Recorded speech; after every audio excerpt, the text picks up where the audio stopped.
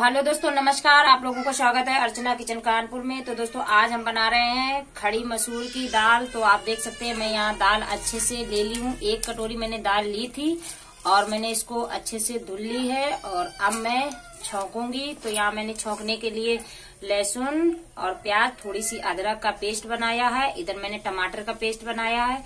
तो चलते हैं गैस की तरफ़। तो यहाँ पर दोस्तों मैंने कुकर को गैस पर रख दिया। कुकर हो चुका है गरम और अब मैं डाल देती हूँ इसमें तेल। और तेल हमारा अच्छे से गरम हो जाए। तो यहाँ तेल हो चुका है गरम और अब मैं डाल देती हूँ जीरा। जीरा मेरा अच्छे से चटक गया है और तो मैं अब डाल देती हूँ प्याज और लहसुन का पेस्ट मैंने बनाया है। और मैं इसको अच्छे से दो तीन मिनट तक भून दूँगी का कच्चापन निकल जाए।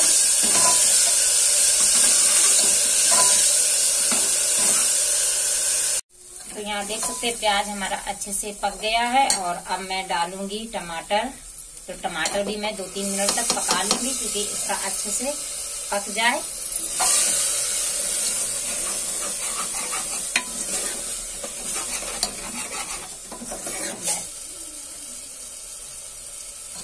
तो दोस्तों आप देख सकते हैं टमाटर अच्छे से पक गए हैं और अब मैं डालूँगी मसाले। तो यहाँ मैंने धनिया चम, एक चम्मच ली है।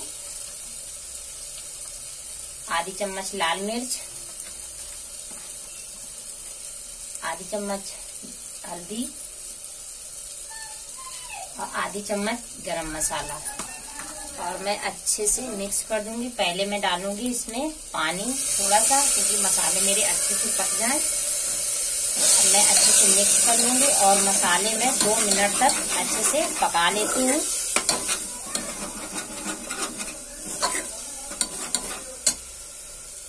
तो यहाँ मैं डाल देती हूँ स्वाद अनुसार नमक और नमक भी अच्छे से मिला लेती हूँ।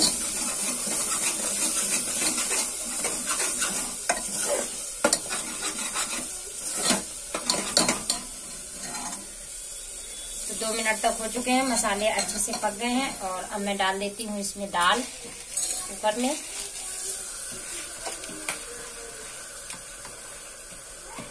दाल को भी अच्छे से मिक्स कर लेते हैं। दोस्तों, एकदम बढ़िया झटपट रेसिपी है। आप एक बार ये रेसिपी मेरी ट्राई ज़रूर करना और कमेंट बॉक्स में ज़रूर बताना। देसी देसी स्टाइल में बन रही है दाल। तो अब यहाँ मैं डालूँगी एक गिलास पानी डाल के, पहले मिक्स कर दूँगी सब मसाले अच्छे से।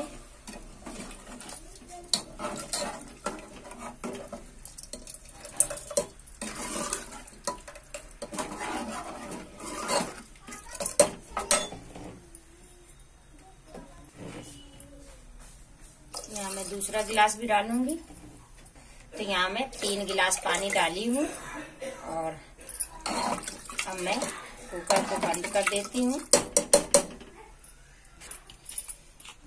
तो यहाँ मैं कुकर को बंद कर देती हूँ दोस्तों, और दो सीटी लगा लेती हूँ। दो सीटी में दाल बढ़िया से पक जाएगी हमारी। तो दोस्तों, आप देख सकते हैं, दाल मेरी पक चुकी है और कुकर की सीटी भी निकल गई है। तो मैं आपको दिखा देती हूँ इतनी बढ़िया मेरी दाल बन के रेडी हो गई है। तो ये देखिए दोस्तों, कितनी बढ़िया बनी मसूर की दाल, खड़ी मसूर की दाल एक बार आप ज़रूर बनाइएगा। और एक बार ट्राई करके बताइएगा ज़रूर कमेंट बॉक्स में। तो अब मैं डाल देती हूँ इसमें हरी धनिया। और दोस्तों, झटपट बन गई मेरी दाल। और दोस्तों, कैसी लगी रेसिपी आप कमेंट बॉक्स में ज़रूर बताइए। और चैनल को सब्सक्राइब लाइक ज़रूर कर लीजिए। धन्यवाद।